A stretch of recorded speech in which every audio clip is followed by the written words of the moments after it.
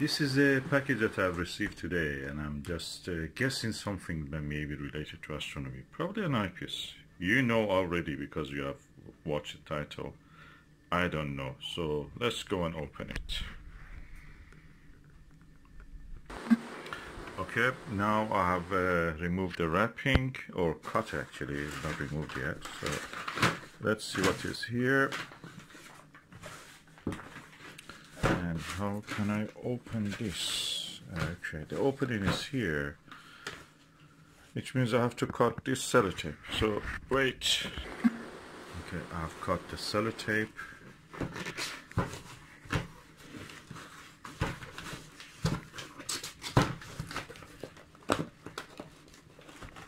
Hmm, I have to use both hands. I will put the wrapping also away. I'll put the wrapping away and this is what is inside. Some paper, more paper,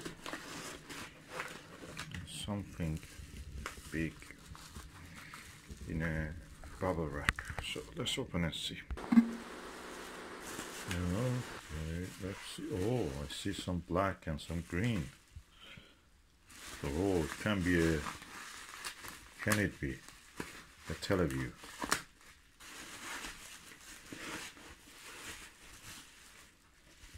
Ooh, wow. A Televue 14mm Delos looks immaculate, new. And yeah, let me just see how it is. Let me remove the wrapping.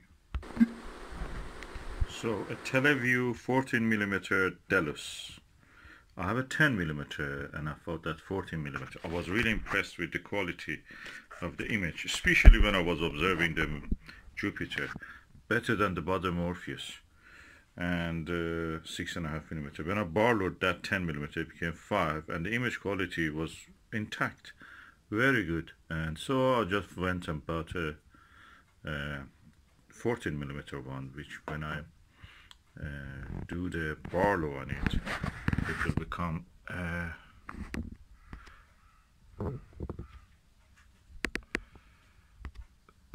seven millimeter.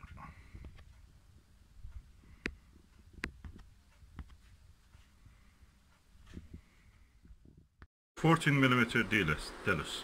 I have a fourteen millimeter uh, Baader Morpheus, which I will compare when I'm uh, in the night probably. But this has a big lens. I heard that the 14mm Pentax is similar to this, but 14mm Pentax in some telescope, not all, has some field curvature problem. This one, it seems, didn't have that problem, according to some reviewers. I don't know if these are true or not. Uh, the only person I trust on the reviews is just Ernest from Russia. That guy actually does the test. And, uh, and Televue is the one who trusts that Ernest also. They sent him a lot of their eyepieces just for the review and test that he does on them. So, Televue Delos, and let's see how it looks in the true. Big eye lens, and sunny outside, as you can see. Looks acceptable, looks good actually, quality good. Hmm, beautiful. According to David Nagler, it was uh, designed and it is invention by one of the designers in that Televue, uh, Delopati Patini or something like that. He is a Greek. They thought that that name is not good for a name as a commercial thing, as a product for a commercial thing. So they, they, they shortened it to Delos, which is one of the islands of the Greek.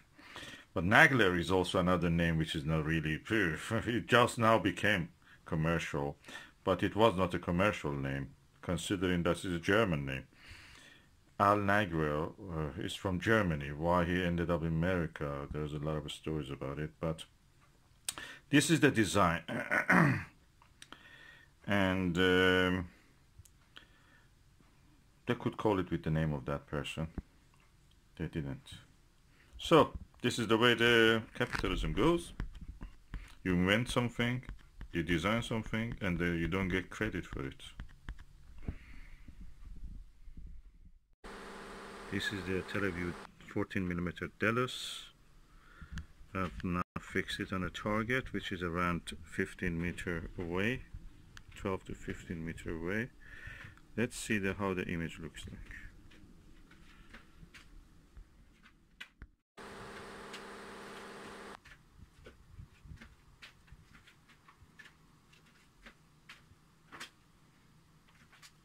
Dry placement is a little bit finicky.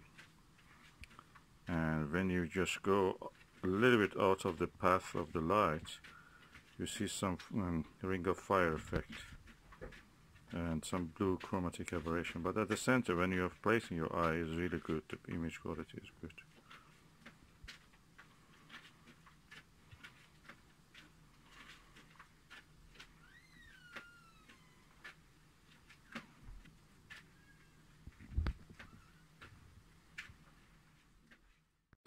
that was how the image looked like. Through the Delos 14 millimeter uh, Televue I was using the my lovely Telos uh, ED80 Skywatcher ED80 Pro Series Gold version telescope.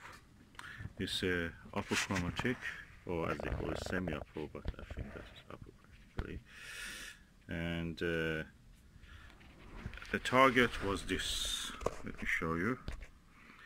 There is a tree in front of our window and those fruits you see there tiny fruits were the image you were looking at. You were looking at the image. So around 12 to 15 meters away